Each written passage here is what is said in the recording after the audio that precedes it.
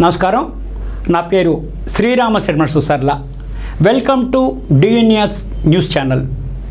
ఈరోజు ఉస్మానియా యూనివర్సిటీకి దగ్గరలోని జము ఉస్మానియా అది మీరు వెళ్తే మీరు ముక్కు మూసుకోవడం గ్యారంటీ. ఇది ఎవరి నిర్ నిర్వాహకం? జిహెచ్ఎంసి వాళ్ళది కాదా? అసలే వర్షాకాలం చెత్తంతా పేరుకుపోయింది. పందులు స్వైర చేస్తున్నాయి. అక్కడ మేకలు కానీ ఆవులు కానీ అది తిని మనుషులు వాటిని తింటే చచ్చిపోవడం ఖాయం కాదా?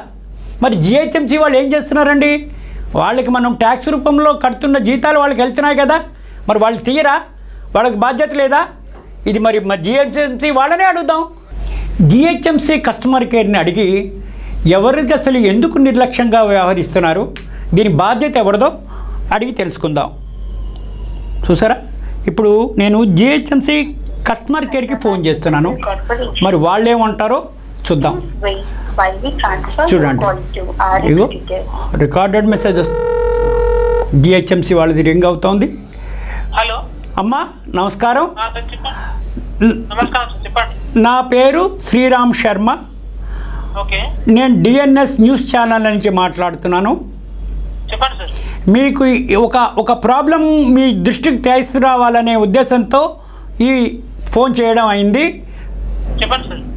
ఇప్పుడు జమై ఉస్మానియా నుంచి వారసుగూడకి వెళ్ళే దారిలో రైట్ సైడు దాదాపు ఒక హాఫ్ కిలోమీటర్ దాకా చెత్తంతా పడింది. వారసిగూడ. ఇది మాకు తెలియదు ఇది మాకు సంబంధం లేదు. సంబంధిత అధికారికి నేను ఫోన్ కనెక్షన్ ఇస్తాను వాళ్ళతో మాట్లాడండి అని అనకండి.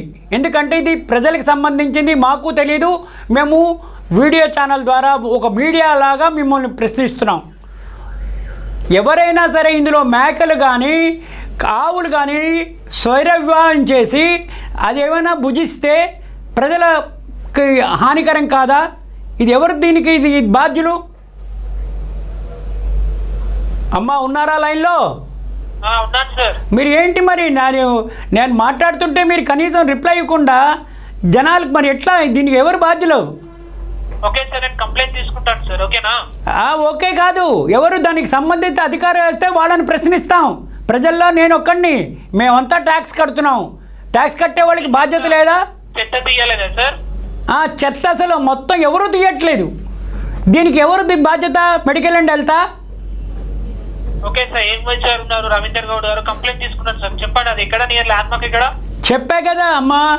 వారసిగూడ జామా ఉస్మానియా నుంచి వారసిగూడ వెళ్ళే దారిలో రైట్ సైడు హాఫ్ కిలోమీటర్ దాకా ఈ విధంగా ఉంది. దాదాపు రెండు నుంచి మూడు నెలల దాకా దాకా ఇప్పటిదాకా ఎవరు దాని మీద ఎటువంటి చర్య తీసుకోలేదు. ఓకే సార్ కాలనీ పేరేంటి అది నాకేం తెలుసమ్మా వారసిగూడలో నేను జనాల్లో ఒకడిని నాకు సంబంధం లేదు. ప్రజలు ఇబ్బందులు పడుతున్నారు బాధపడుతున్నారు. రైల్వే స్టేషన్ రైల్వే ట్రాక్కి పక్కనే ఆనుకుని ఉంది ఇది. జమై ఉస్మానియా నుంచి వారసిగూడ వెళ్ళే దారిలో రైల్వే ట్రాక్ పక్కన ఆనుకుని ఉంది ఇది.